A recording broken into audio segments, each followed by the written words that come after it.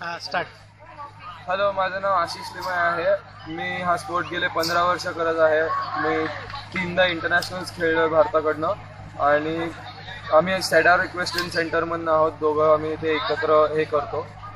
तिथे आम्ही ट्रेन करतो पुढे आणि कॉम्पिटिशन आज जे काय इथे हे झालंय. चॅम्पियनशिप झालं त्याच्यामध्ये त्याच्याबद्दल काय सांगू शकतो? आज काय ही झाली आहे कॉम्पिटिशन त्याच्यात इनफॅक्ट आर एल म्हणून ही नवीन कन्सेप्ट आहे.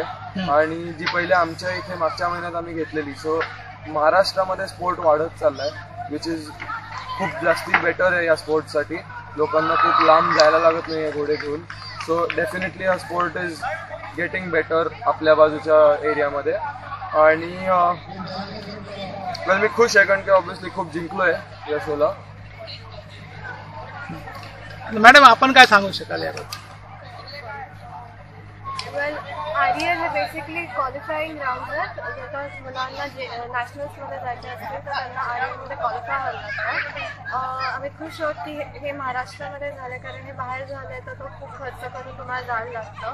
पण हे आता महाराष्ट्रामध्ये पहिली कॉम्पिटिशन आम्ही घेतली आहे मग ह्यांनी आत्ता की दुसरी घेतली. आहे ह्यात आमचे सगळे मुलं क्वालिफाय झाले तो पुढच्या महिन्यात आम्हाला नॅशनल्सला जायला मिळालं so happy with the horses आणि मुलांना.